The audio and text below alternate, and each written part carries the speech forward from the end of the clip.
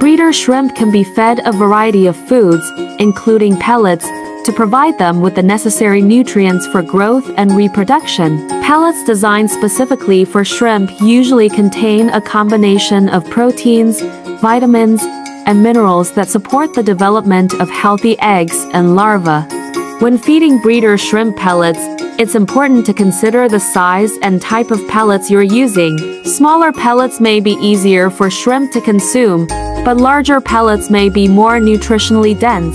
It's also important to avoid overfeeding, as excess food can lead to water quality issue and health problems for the shrimp.